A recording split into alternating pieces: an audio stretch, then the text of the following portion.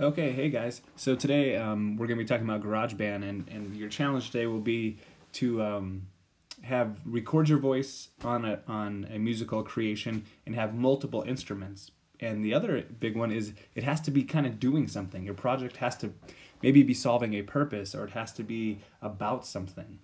So I'll show you the one I made.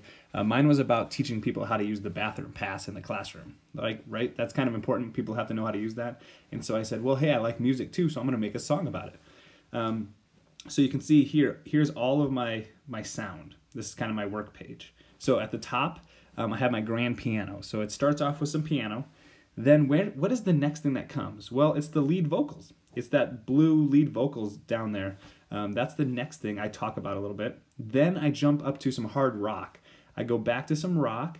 Then I go drop down for a long lead vocal where I'm talking more. Then I jump back up. That's SoCal. I think that's drums. So I got a little drum in there. Then I come down for my lead vocals, my last talking. And then the last thing is I finish off with some acoustic guitar. And so I broke it up and I said I broke it up into music, speaking, music, speaking, kind of like a song. And so um, I'll play it quick.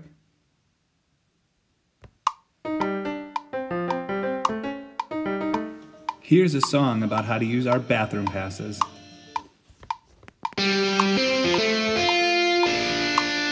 First, you take the bathroom pass from the classroom, walk down the hallway nicely, and hang it up outside the bathroom on the clip.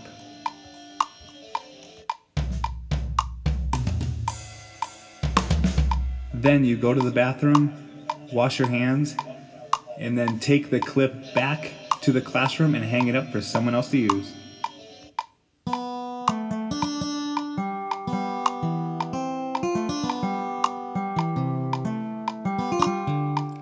And there's my song. So I said, hey, what's a problem? I'm going to try to solve this bathroom pass issue so I can teach kids, but I also want to create a cool musical creation. So, all right, there you go, guys. Good luck.